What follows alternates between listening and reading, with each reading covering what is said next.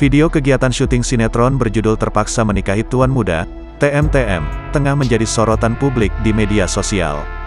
Kegiatan syuting tersebut menjadi sorotan setelah diprotes oleh warga Lumajang, Jawa Timur.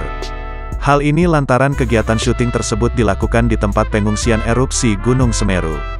Sontak, warganet pun ikut geram dan menilai kegiatan tersebut kurang memiliki empati kepada warga yang terdampak bencana.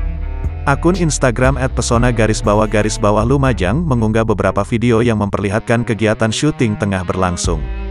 Dalam kegiatan syuting tersebut, terdapat dua pemain sinetron yang sedang beradegan di tengah tenda pengungsian.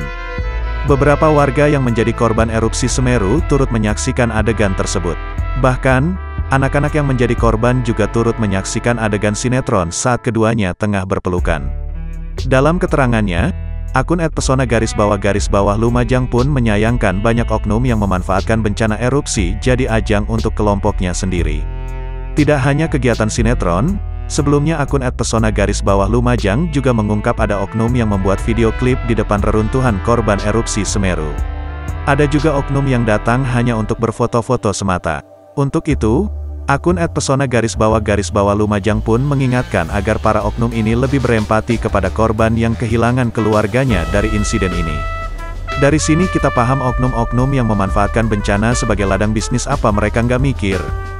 Banyak saudara-saudara kita yang kehilangan keluarganya, kehilangan teman hidup, kehilangan tempat tinggal dan lain-lain tapi kok masih ada oknum-oknum yang memanfaatkan situasi ini demi kepentingannya sendiri, tulis akun @pesona garis bawah garis bawah Lumajang.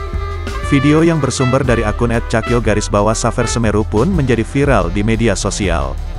Bahkan, video tersebut diunggah kembali di Twitter dan mendapat kecaman yang sama dari warganet.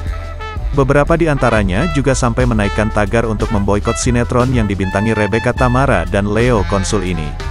Tribunnews.com telah menghubungi pengunggah video untuk mengonfirmasi kebenarannya. Namun hingga berita ini ditayangkan, Tribunnews.com belum mendapatkan jawaban.